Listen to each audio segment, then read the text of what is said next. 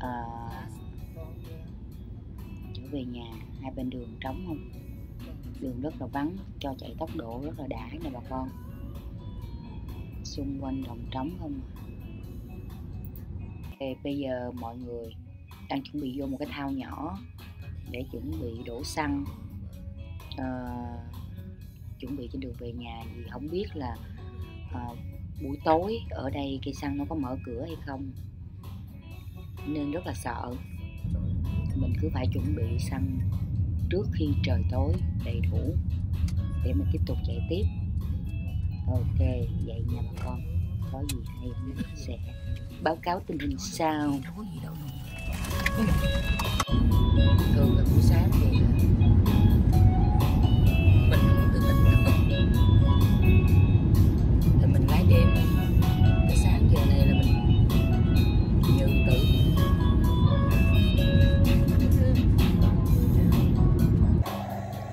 bây giờ đang chạy thì bà dì của mình lại nghĩ ra sáng kiến là sẽ chụp mấy em bò đang ăn cỏ ven đường nên cả nhà phải dừng lại để cho bà dì lên máy bay bay để quay. Mấy em nghe họ.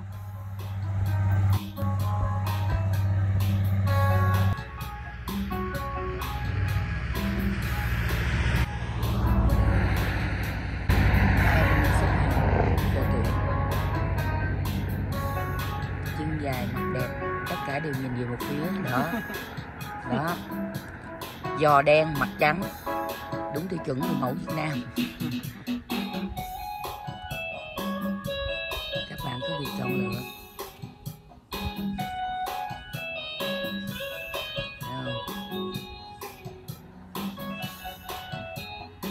Quẹo vô ba đồng phao ba đồng phao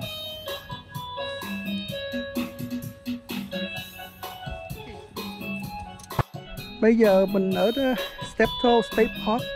Cao thì cao á. Hồi nãy lên à, núi á. Sợ quá sợ. Nãy giờ chảy mồ hôi luôn á. Sợ, tay luôn. Bên phải không dám chạy. Chạy bên trái sát bên trái không sợ xe đụng nữa. Thì ghê quá cao quá chân cao rồi ghê quá. Thấy không? Thấy mênh mông này cao quá. Đến, đến mây luôn các mà mà cái đường nó hẹp thôi á. Một xe rưỡi chạy phải rất có lời lấp qua sởi mùa qua đây nó lại lại mênh mông bà con lần lại mới thấy đẹp không? Quá đẹp luôn. Nó cao quá cho nên nó bắt mấy cái mấy cái signal này nó làm gì không biết. Antenna nó làm gì nữa tại quá cao mà. Ghê quá. Có có người này mới nói chuyện á. Anh nói để đi ngang qua đó là hết đường rồi. Mình sợ quá cho nên mình không dám đi nữa. Mình cái chỗ này nó rộng quá. Cho nên mình muốn quay đầu lại thôi không muốn đi tiếp nữa. Wow ghê quá. Rất là cao. Thấy nhà nhỏ xíu siêu chứ. Cao quá thấy mênh mông luôn. Thấy cái bậc cái, cái đất nó cong cong luôn cao mà nó rộng mênh mông luôn Đấy mà con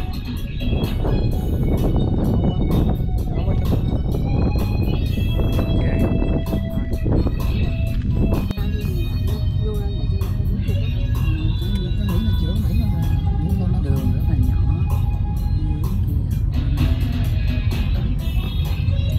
Đường làm.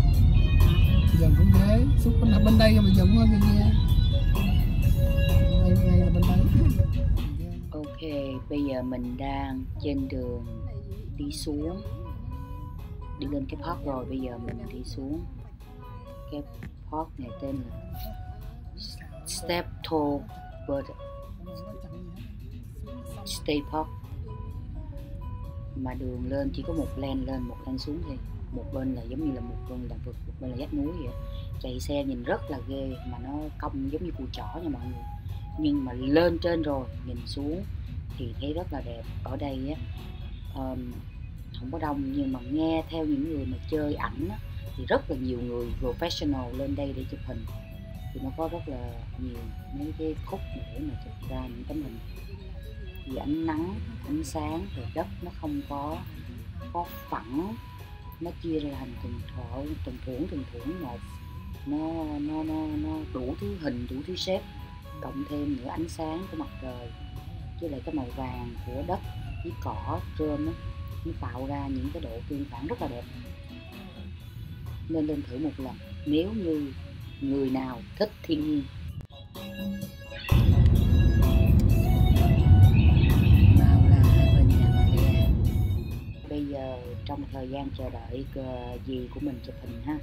Canh ánh sáng mặt trời xuống gì chụp thì tụi mình cả nhà đói bụng quá đi ờ, kiếm đồ ăn.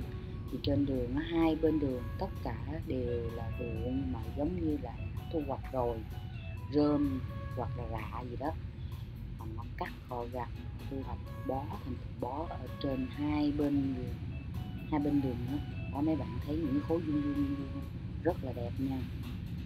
Thẳng, thớm, vuông vức. Nhìn rất là không nghệ mà đẹp đẹp lắm